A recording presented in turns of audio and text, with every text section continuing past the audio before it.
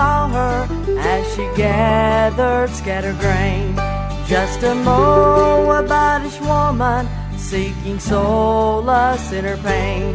And seeing more than just a widow, Boaz gave command so kind. Let fall handfuls of purpose till I make the stranger mine. Handfuls of purpose, blotted efforts of grace. Handfuls of purpose brought me to his sweet embrace. When I could not find fulfillment, doomed forever to be lost. Handfuls of purpose brought the seeker to the cross.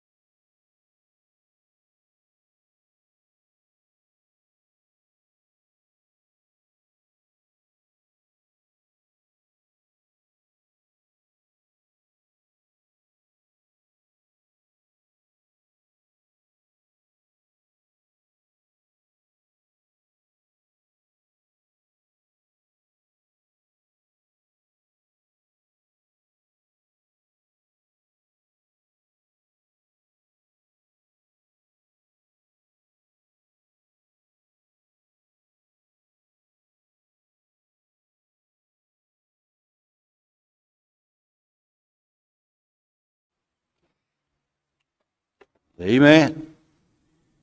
Good to be back.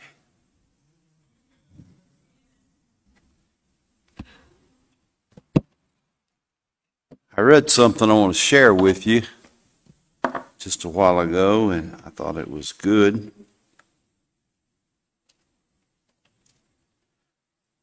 A good pastor will build up his church, and a good church will build up his pastor.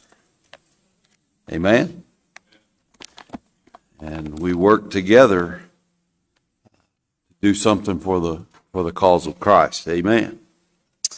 Well, I have enjoyed this week. We've got tonight and one more night, and we're looking forward to uh, what God does with that. And uh, you would turn your Bibles to the book of Ruth, chapter 4. Ruth chapter 4. I know these pastors know what I'm talking about, but I got home last night, or got to the motel last night, and I thought, man, I should have said that, or I should have said this.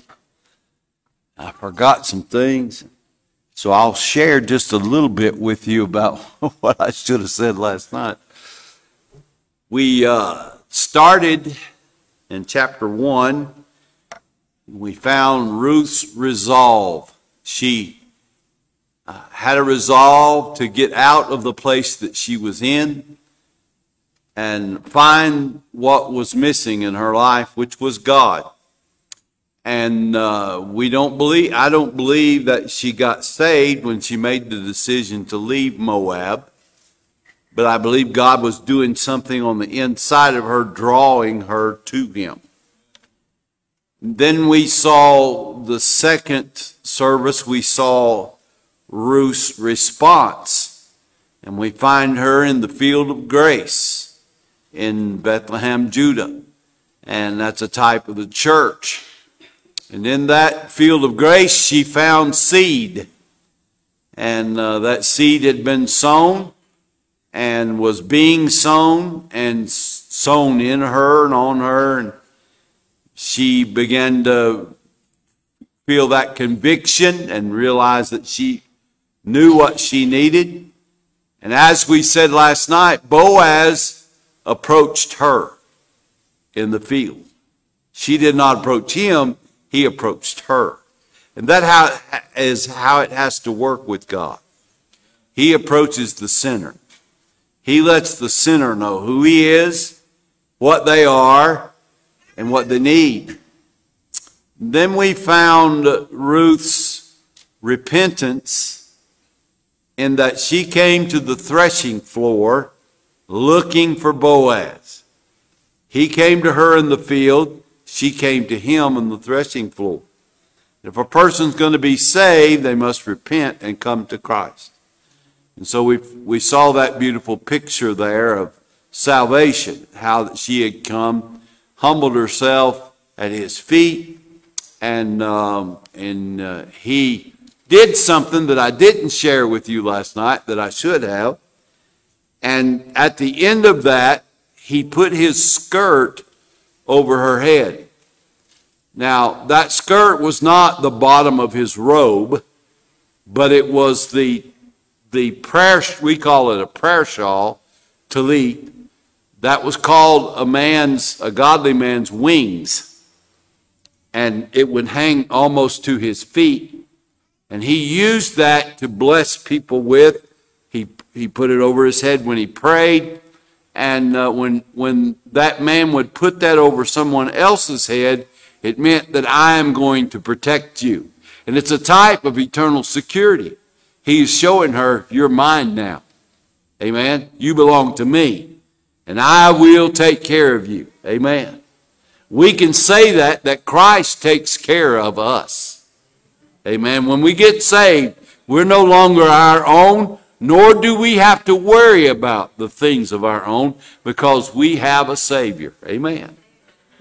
And so he, he places that over her head and lets her know that, uh, and that's the part that people try to make filthy, and we talked about that last night.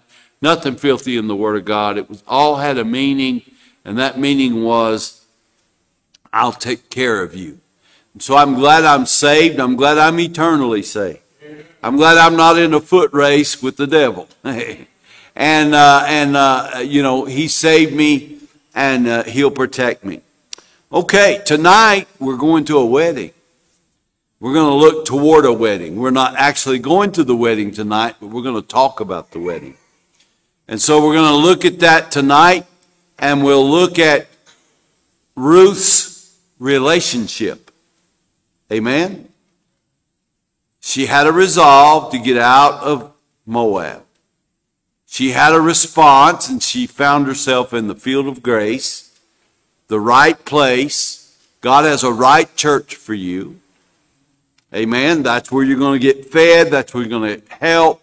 That's not necessarily, they're not necessarily hanging, swinging from the chandeliers and throwing songbooks in the air and screaming and hollering.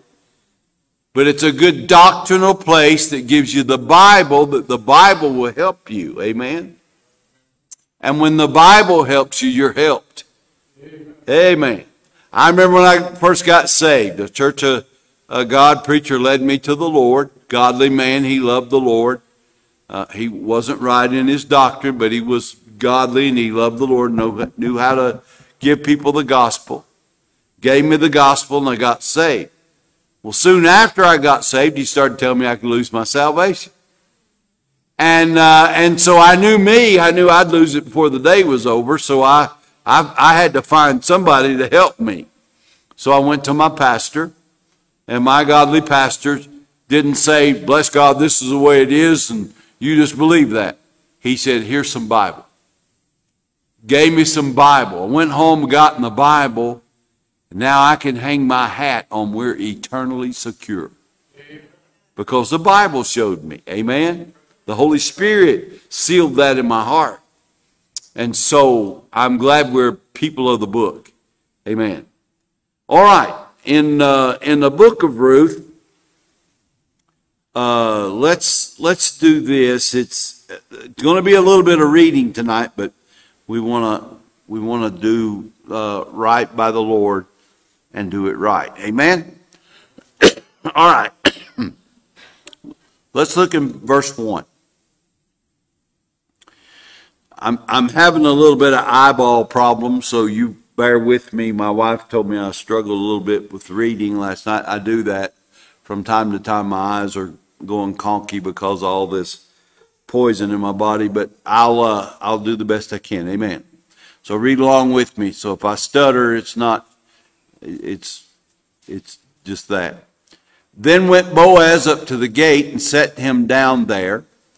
Behold, the kinsman of whom Boaz spake came by, unto whom he said, Ho, such a one, turn aside, sit down here. And he turned aside and sat down. Now here's the story. He's met her in the threshing floor. He tells her to go home with that 75 pounds of barley seed. And uh, she goes, she carries that through the streets tells her not to tell anybody, and he said, I will take care of the problem. What was the problem? The problem was she needed a kinsman redeemer. And the problem was that she had a nearer kinsman. That now remember, Naomi is the one that lost everything. Naomi is the Jewish woman that can have everything restored, not Ruth. Ruth came along because she was married to Naomi's son. Okay? Now, Ruth is in the package. If a redeemer buys Naomi out, he has to buy Ruth. And so he said, I will take care of the problem. I am a kinsman, but there's one nearer. And I will go and deal with that person. Now, that's what's happening here. They dealt with those things in the gate. So he goes to the gate. He tells those men there in the gate, the leaders of the city, uh, I need you to hear this matter. Uh, there, there's a matter that needs to be taken care of. This is Boaz, okay? And so, and, and I'm going to explain this briefly. We're not going to belabor this a long time, but we'll look at it. And he took ten men of the elders of the city and said, Sit ye down here. And they sat down. And he said unto the kinsman, Naomi, uh, that is come again out of the country of Moab, selleth the parcel of land which was our brother Elimelech's. And I thought to advertise thee, saying, Buy it before the inhabitants and before the elders of my people, if thou wilt redeem it, redeem it. But if thou wilt not redeem it, then tell me that I may know, for there is none to redeem it besides thee, and I am after thee. And he said, I will redeem it. Now I want you to understand something. This nearer kinsman is a type of the law. He's a type of the law, okay? And uh, to the Jewish person, they felt like at times they could keep the law and that would make them righteous. He said, I will redeem it. That's the law speaking. I'll take care of the matter. Okay? Now, Boaz is a type of Christ. Okay? He's not a type of the law, he's a type of Christ. Uh, the law had a sacrifice that was not human, was an animal, wasn't enough to get you completely redeemed. Once a year, that had to happen. There was a day of atonement every year. But thank God Christ came, went one time behind the veil, sat down beside the, uh, the Father, and it was finished. He finished that work. He was the Lamb of God that ended all sacrifice. Okay? So let's read on. Then said Boaz, What day thou buyest the field of the hand of Naomi, listen to this, thou must buy it also of Ruth, the Moabitess, the wife of the dead, to raise up the name of the dead upon his inheritance. And the kinsman said, I cannot redeem it for myself. lest I mar mine inheritance. Redeem thou my right to thyself, for I cannot redeem it. The law cannot save you. What the law does is condemn you. Amen? The law condemns you. The law is your schoolmaster to bring you to God, but it cannot redeem you. And so this man is saying, I cannot redeem it. Now, this was the manner in former time in Israel concerning redeeming and concerning changing. For to confirm all things, a man plucked off his shoe and gave it to his neighbor. And this was a testimony in Israel. Therefore the kinsman said to Boaz, Buy it for thee. So he drew off his shoe.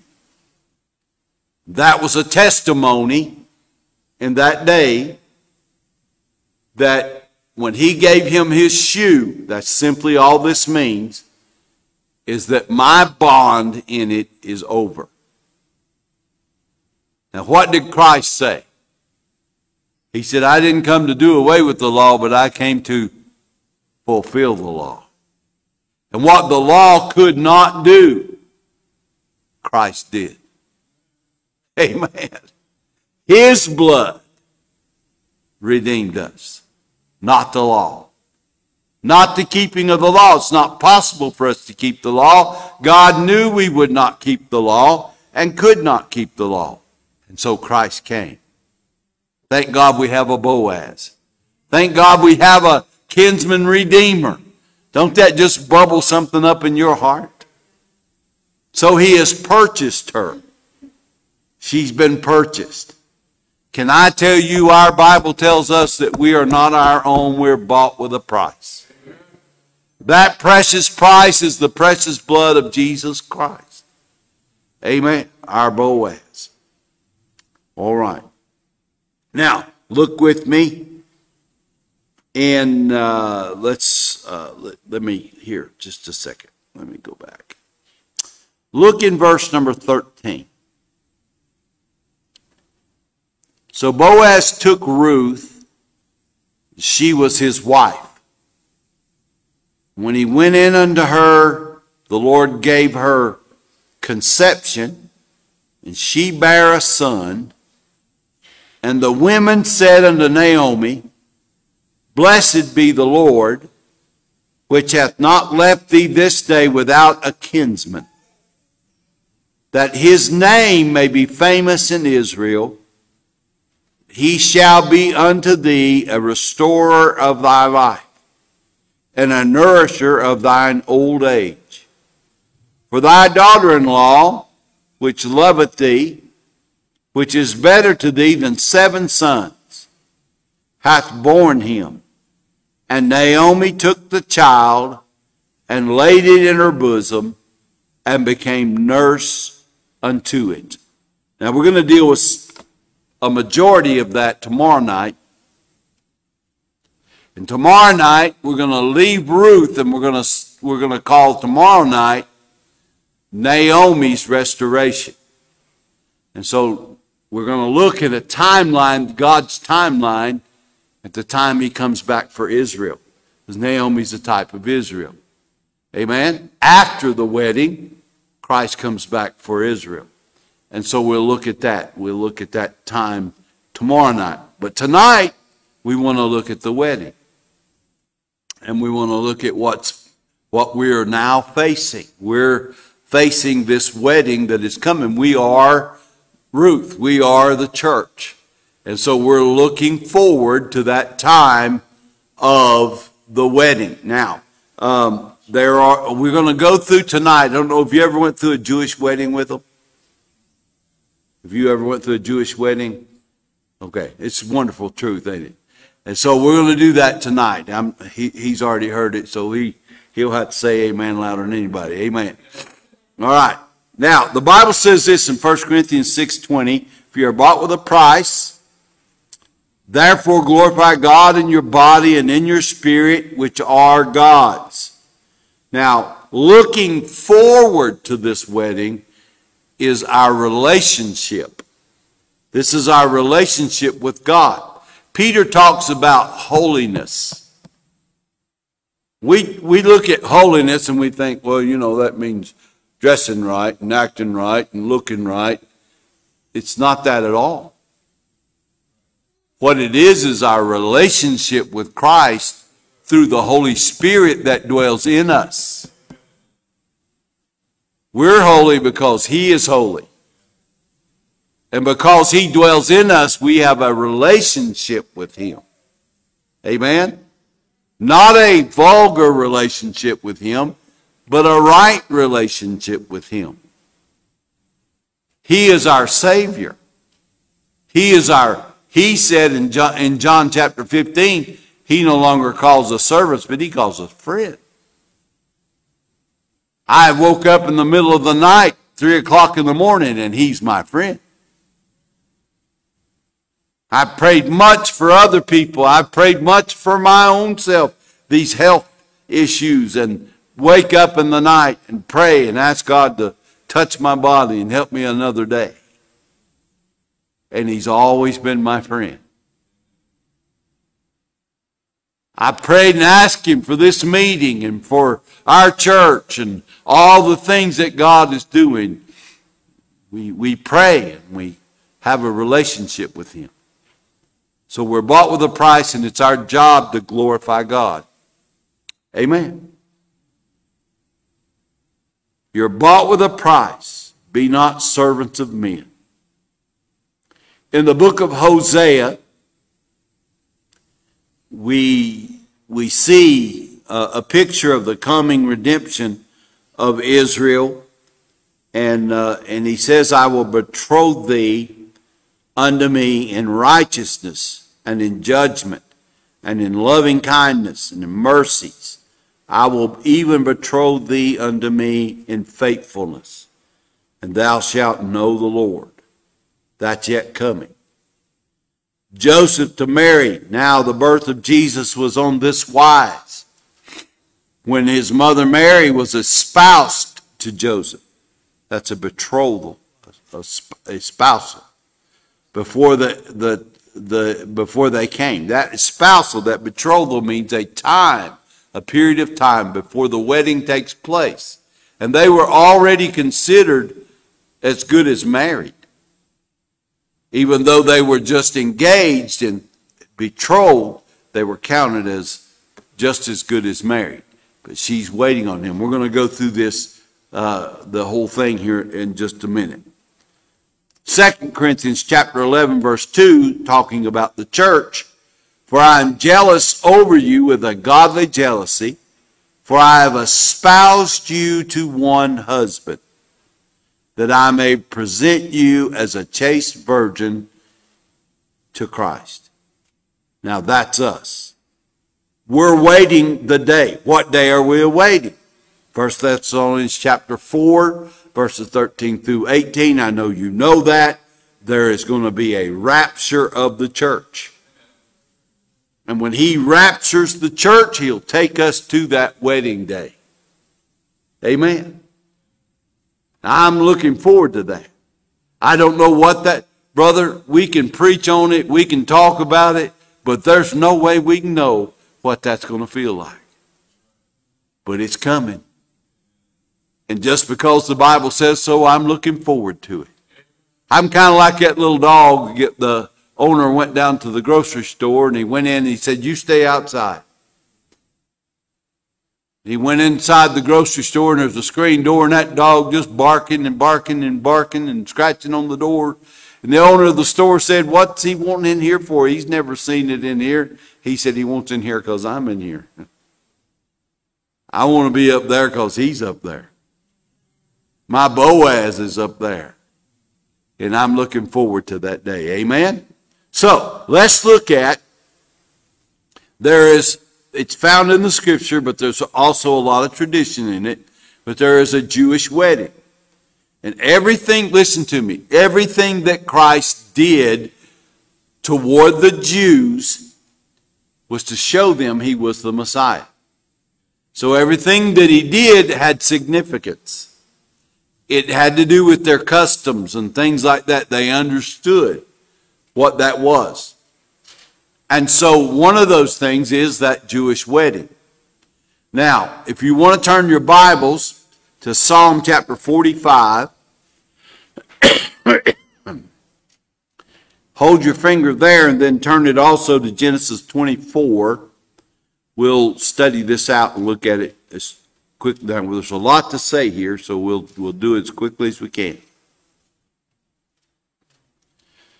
Verse 13, the Bible says, The king's daughter is all glorious within. Her clothing is of wrought gold. She shall be brought unto the king in raiment of needlework. The virgins, her companions, that follow her, shall be brought unto thee. Now, this has to do with a Jewish wedding. The I'm, I'm gonna get ahead of myself, so I'm gonna, I'm gonna try to hold that for just a second. If if we show the Jewish wedding, we, some things will start to make sense about what we are facing in the future. Uh, I'm no longer mine; I belong to Him. The Bible says, "I'm crucified with Christ; nevertheless, I live." Uh, uh, not yet, not I, but Christ liveth in me, and the life that I now live in the flesh, I live by the faith of the Son of God who loved me and gave himself for me. Are we truly waiting for that date? Are we truly building our relationship with the Lord? So let's look at this wedding. First of all, was the arrangement. And if you, if you look in Genesis chapter 24, we find and, and I'll try not to read as much as, as possible. I'll, I'll try to just kind of go through it. But we find that Abram wanted a bride for Isaac. You remember that story? Genesis chapter 24. If you don't know that, you need to read it. He picks his servant, his head servant, to go after that bride. Now, that servant is not named. Now, we kind of know who he is because of other scripture but, but he's not named. He doesn't talk about himself. He goes after Rebekah. And he approaches Rebekah for Isaac. Can I tell you, I remember the day that the servant of God, the Holy Spirit, approached my soul about being the bride, about being saved. Do you remember that day? When you start to, uh, to get that proposal uh, to come and, and be a part of the family of God. And so that's what's happened. This Abram has went to her. He is, uh, it's proven by the way she watered the camels that she was the one. And then he invites her to come and meet Isaac, which she has never seen. And you have never seen Christ. But by faith, you know He's real. And you're looking forward to that day. Amen? And so, he takes 10 camels and, uh, and, and takes those camels with him. That's a, uh, we'll look at that in just a minute. And uh, he approaches her. He gives her gifts. And, uh, and, and she waters the camels like she's supposed to. And he knows that she's the one and he invites her um, to uh, be uh, Isaac's bride. Now, he never speaks of himself. The Bible says in, in John chapter 16 that the Holy Spirit, uh, he shall glorify me, for he shall receive of mine and shall show it unto him. All things that are of the Father uh, hath or are mine. Therefore said I uh, that uh, he shall take of mine, and he shall show it unto you. All this business on TV about uh, the Holy Spirit and all, uh, the things that's going on in this uh, movement that's on television, that's a lie. The Holy Spirit points to Christ. The servant, all he would talk about was, was, my, was Isaac, my master. I want you to meet my master. Amen? And that's what the Holy Spirit has got a desire in our heart for is we want to see Christ. Amen? Now, notice uh, that he hasn't spoke of himself, uh, and then he is drawing her toward him. No man can come to me except Father, uh, which hath sent him, draw me, him, and uh, I will raise him up the last day. Notice he's got ten camels. Ten is the number for glory or testimony. When he showed her those ten camels, he let her know he has the wherewithal to do what's, what needs to be done. Christ has, it was, we talked about that last night. He was able to save us. He had the perfect blood to save us. He was the Savior. And that's a testimony to us that He can not only save us, but He can keep us. That journey that they took was not an easy journey. But she had the camels of grace. Those camels were built for the desert. They were built for the, for the journey. They had the right feet. They had the right eyes. They had the right uh, water hump. They had everything was built for that journey. And so he showed her those camels. Amen. And and and I wish I had time to go through all that, but I don't. And and so there's uh the the wonderful truth. He said, "My bridegroom is waiting, and uh, we're going to take this journey." Now we're on that journey. It's not easy sometimes going through this journey. Anybody ever face some difficulty in this life? Of course you have. Anybody ever face, uh, face uh, spiritual battles? Of course you have. Paul said you would. That's what 2 Corinthians 10 is about. That's what Ephesians chapter 6 is about. That's what Romans chapter 7 and 8 is about. We're going to face battles. Amen? But he'll get us through the journey. He's equipped us to get through the journey. That's what that holiness is. That relationship keeps us going. Amen. How many of you would have probably given up a long time ago had it not been for your spouse? Yeah.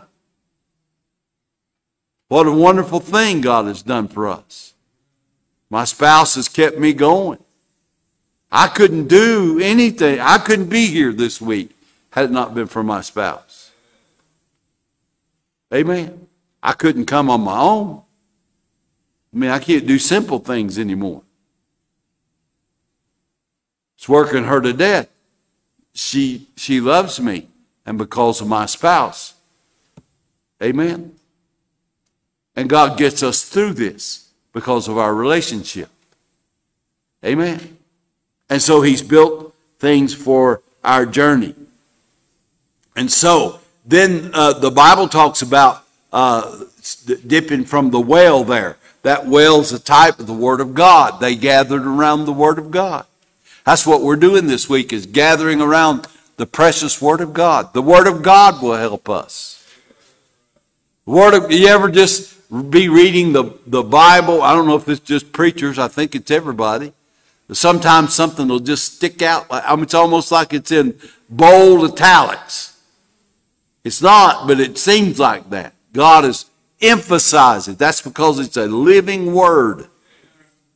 All scripture is given by inspiration. That means spirit in. It's alive. Living water and uh, it helps us. Amen. Then, not only that, but the price was paid. There was a bride price. And again, 1 Corinthians chapter 6, verse number 20 says we're bought with a price. Ephesians 5.25, husbands, love your wives, even as Christ loved the church and gave himself for it. John 3.16, for God so loved the world that he gave his only begotten Son, whosoever believeth in him should not perish, but have everlasting life. He gave himself for. There's a price that's been paid. When he showed up in that upper room after he resurrected, he showed them the scars in his hands. He showed them the price that was paid. Sometimes we need to get back to looking at the price that was paid. Remember that story in the Bible, Moses, when the water was bitter? If you'll, if you'll look at that story, the Bible says he showed them a tree there. Sometimes we need to look and see the tree. Calvary was our price that was paid. Great price for us. He gave her gifts along the way. Has God ever given you a gift? I mean, beyond salvation. Is He not just giving you gifts along the way? Hadn't He loaded you daily with benefits? And you see God just conf- just giving you confirmation about things. God ever give you confirmation, preacher, about things you know? I know He has. Sure has. I remember we went on a deputation. I left, I resigned my church. It was a full time position there at the church. or left the church with nothing. Went out on deputation, and you know what deputation is. You just get what you get. Went out on deputation. The first meeting we got in was a little church. And it was a, a, a mini church gathering. They had gathered together there, and they kind of made us the center of it. First song they sung, preacher, was I have never, never, never saw the righteous forsaken. or, amen. And sung that song to us and gathered around us and prayed for us and took up a love offering and said, It's going to be all right. Confirmation. God just helped us every step of the way. Amen. There's been a price paid, but He gives us gifts. He gives us, I, and I imagine this. I imagine little Rebecca sitting up on that camel through the desert. Things have got hard. Maybe in a big old dust storm. We in the South, we don't know what dust storms are till we get out here, and then we figure that out. And uh, getting a big dust storm, she, she starts looking back toward home. I think every time she done that, Oh, Eliezer gave her a gift. you just keep looking that way. Isaac's that way. He gives us gifts. Amen. Now, notice and look in verse 22 of chapter 24, Genesis. And it came to pass, as the camels had done drinking, that the man took a golden earring and a half shekel weight and two bracelets for her hands and ten shekels weight of gold. Now, the word earring here, and uh, I don't want to disturb your doctrine or anything, but the word earring here doesn't necessarily mean it was a, a, a ring in the ear. If you look that word up, being all one word, if you look that word up, it actually is kin to nasum, which is a nose ring. And I'm going to show you some other scripture to, to prove that, but it's a nose ring. Okay? I'm not promoting nose rings. I'm just saying that's what was done that day. I had a preacher tell me one day, I wish you hadn't said that, but that there's a truth in it. Okay? And I want you, I want to share that truth with you.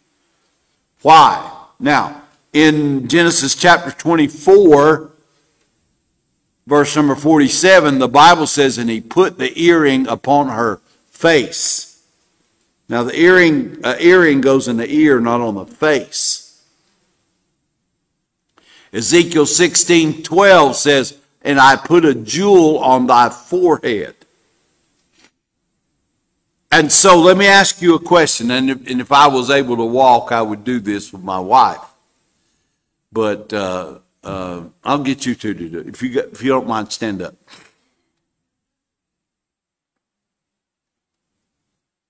All right. You turn and, and take her by the shoulders and turn her toward you. Now, if you're going to put a nose ring in her face, she has to face you. You could put it in her ear without her facing you, but when she has to face you, She's looking in your face and saying, I am yours. Amen? And it's a testimony. I belong to you. Okay, thank you. Half a shekel was what? The price of redemption.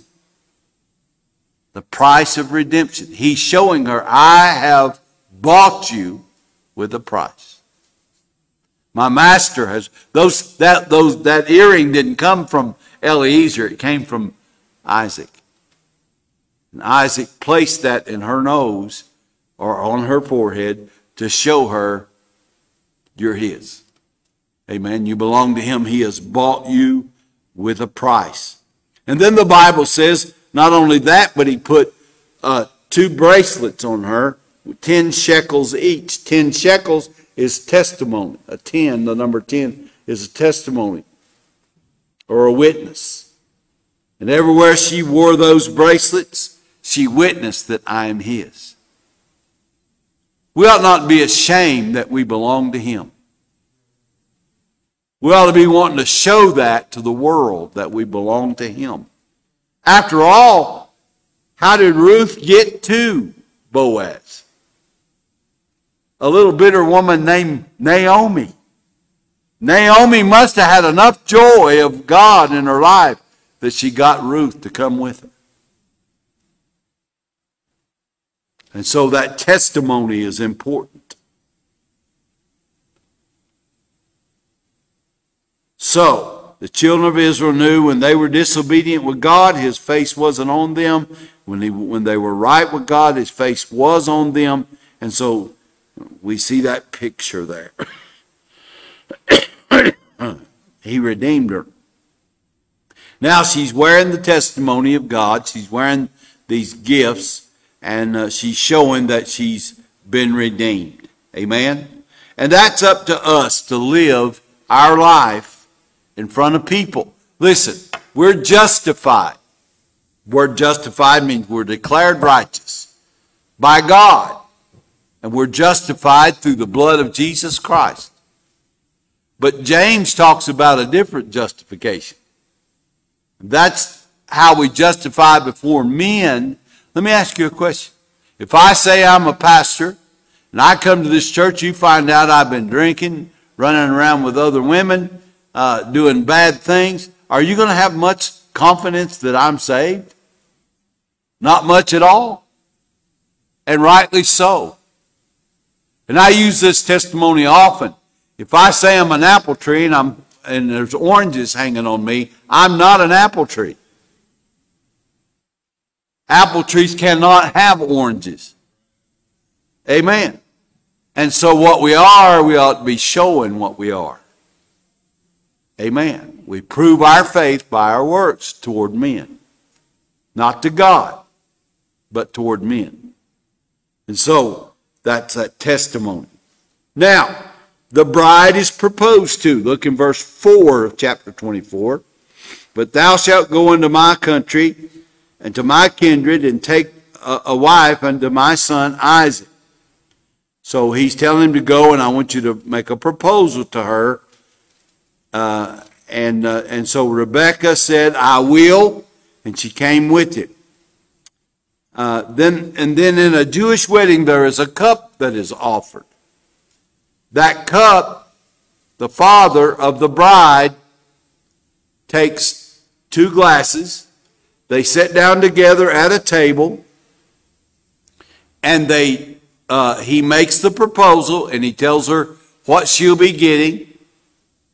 And she either says yes or no. If she says yes, the father will pour drink in those two glasses, and they will drink from the, the the bride and the bridegroom would drink from those glasses.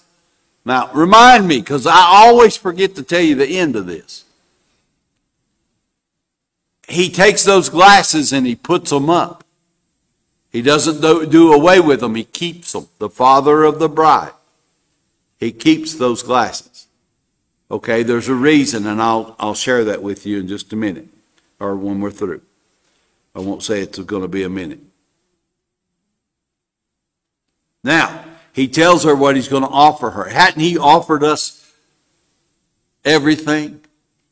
Eternal security, heaven one day, to be with him forever, to rule and reign with him when he comes back. We get to cast our crowns before his feet. What a wonderful thing he has done for us. Now, the preparation. Okay, here's what happens. He makes the proposal. She accepts, and then he goes to build a place for her. Amen? He goes back to his father's house and he builds a place for her to come to. While he is gone, she prepares for the wedding. That's her one and only job is to prepare for the wedding. This is important. This is what we are doing now. We are betrothed to one, and we're preparing for that wedding day. Amen. Now, let's let's look at that real quick. She's in training and preparing herself to, to be the bride. 2 Corinthians chapter 11 verse 2. For I am, I am jealous over you with a godly jealousy, for I have espoused to you one husband, that I may present you uh, as a chaste virgin to Christ. We have no business running around with the world. We have no business cheating on Christ with the world. Amen. This church does not need the world's music. We don't have to have the world's dress. We don't have to have the world's standards because we belong to Christ. His standards is what we need. Amen. I like that. I like amens in the house of God. I'm like that old preacher said, I'm kind of like an old mule. You give me some water and holler at me a little bit, I'll do better. Amen. Ephesians chapter 5. We read that, that uh, in, in verse 26, the Bible says that he might sanctify and cleanse it with the washing water of the word, that he might present it to himself a glorious church, not having spot or wrinkle or any such thing, but that it should be holy and without blemish. So ought men to love their wives as their own bodies. He that loveth his wife uh, loveth himself, for no man yet ever yet hated his own uh, flesh, but nourisheth it and uh, cherisheth it, even as the Lord the church. Now, the bridegroom, he has gone back to his father's house. He's building a place for her to come and um, and and and uh, and and working on that. He does not know the time when he'll go back. The Father tells him the time, because he would go back now. Christ would love for us to be with him now. And uh, and I know God the Father and God the Son are the same, and we understand that, but the Bible says not even the Son knows, and so we know uh, that truth. Okay? And so he goes back to build this place. Now, what she does while she is waiting, what she does is she prepares her wedding garment. Now, I read to you in, in Isaiah 61:10 uh, or in Psalm chapter uh, 45, verse 13, 14, about that wrought gold. And what Jewish women would do, now I had him set these up here because I forgot my handkerchief, is they would get their white linen, their pure white linen. That stands for the righteousness of the saints. Revelation chapter 19 tells us that. Amen? And we're going to be wearing robes like that. Amen. Now, there's no robes whiter than other robes. We're all going to have white robes. Amen. But, but, what she would do, the Jews had a way of spinning gold dust into thread. And this thread was wrought gold. It was wrought. It was made. And she would design embroidery in her garment. Okay? So she would sit around all day. She carried that garment with her everywhere she went. That's a reminder that I'm His, bought with a price, stay pure. And while she was sitting and waiting, she would sew things into that garment. That's our lives. That's the things that we do for Christ. And I'm going to say something very boldly. If you look at the judgment seat of Christ, it's not for our salvation, for our works. And it is in the context of the local church. What we do through the church, the service, the work that we do through the church is what we're sowing into that garment. Amen? And if you never do that, you're still going to get to go to heaven. But boy, you're going to have a plain garment. Your, your, your work, the Bible says there'll be some there that have no works. They're saved. Yet, as by fire, they're saved. They've got a garment, but there's no embroidery. I don't know about you, but I hope I can hold forth a beautiful garment before my Boaz. I hope when he sees me, when he sees us coming down the aisle, was at a wedding one time my daughter my youngest daughter she she practiced a a betrothal and they never touched each other never held hands or anything until the wedding day. Now all of my daughters didn't do that but my youngest one did. And what a beautiful wedding it was. When he saw her at the back door he wept when they kissed in the altar the very first time they'd ever touched. What a beautiful picture of preparing for your wedding. Amen. We've got a lot of work to do. And we ought to want to do that work. And it ought to be our joy to do that work. Sewing in that garment a godly life a needlework, patiently waiting, understanding that he's coming. That was her job, is to wait. And while she waited, she was to work. Occupy till I come, he said. And so we're to occupy and be busy about that. No man knoweth the day or the hour, but it's at hand. Amen? Now, she would also carry a candle in her hand all the time. Why would she do that? Because she never knew when he was coming. He could come in the morning, he could come the, at noon, he could come at night. And when she went to bed, she lit a fresh candle and she put it in the window so he would know where she was at all times. How, how bright is our light shining for him? He knows where we are. Amen. And he knows what we're doing. Amen.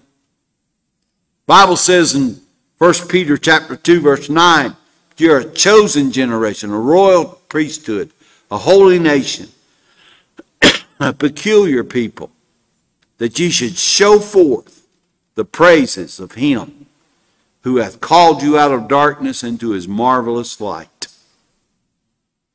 So she would carry that count. Now, the bridegroom, in the fetching of the bride. Now she has, she's back where her father is. Okay? He's where his father is. There's going to come a time when he comes after her. The father's going to say, Go get your bride.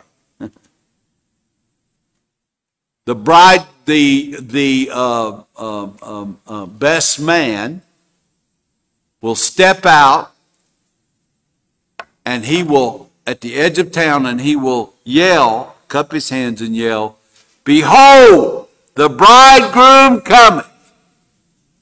You know, the Bible says there's going to be a shout. The voice of the archangel, there's going to be a shout, there's going to be a trumpet, and then the bridegroom will come and fetch his bride. He will see that light in the, in the window, and he'll go get her and take her from her father's house. He'll, he's going to take us from this world, and he's going to take us back to his father's house. Amen. Don't know what that looks like, but we'll be there one day. And we'll consummate the wedding. And that's what's going to take place after the rapture. The judgment seat of Christ is to show forth that beautiful garment. And then we are wedded with Him. Now, I'm going to go through the marriage supper and all that tomorrow night. I don't know about you, but I certainly want a right relationship with the Lord. And if you're here tonight and you're not where you ought to be with the Lord, boy, there's time right now to get that settled. I haven't been working on that garment. Start now. Start now. He's wonderful. He gives you time to do it. And if you'll start now, God will bless you. Can't tell you how many times, preacher, and I know you have in the years you've pastored, I've saw people that have wasted the first part of their Christian life and then all of a sudden got right with God and become a powerful force in getting souls saved and helping the local church. You could do that tonight. Smallest child could do that tonight. The oldest person here can do that tonight used to know a fella in the South. If a man was a junior, a lot of times we just called him junior. This fellow's, we called him Junior Loy. He was in his 80s. And I wasn't the pastor at the time, I was assistant pastor. And the pastor told me, he said, Junior Loy is wearing me out. He said he gets about 5,000 tracks every week. Every week. He said, I'm having to order those tracks. I said, Well, praise God. What's he doing with them? He said he goes down to the hospital every day. He passes them out in the hospital. If there's a car outside, he puts them on the car. If the window's cracked, he throws them in the car. He goes to the grocery store, and puts them in the beer racks. He puts them everywhere. He goes down to the Catholic Church and puts them in the offering box. He's just wearing us out. I said, let him do it. Praise God. Somebody needs to be helping him. And he was in his 80s. There's something we can do. Amen. Something we can do. You ever met somebody that just can get people to church? That might could be you. That might could be you. But you, it won't if you don't try. Wouldn't it be wonderful before this meeting was over you came to the altar and said, Lord, I dedicate my life to you. If I'm on my job, I'll be talking about you. If I'm if I'm in the grocery store, Sister Jill was talking about having a captive audience in the bus that she drives. In the grocery store, we have a captive audience. She's checking us out. We have to, she has to listen to what we have to say. You know the greatest place to witness? Gas pumps. They can't go anywhere. Reach your head around and say, hey, how you doing today? Can I give you something to read while you're standing there?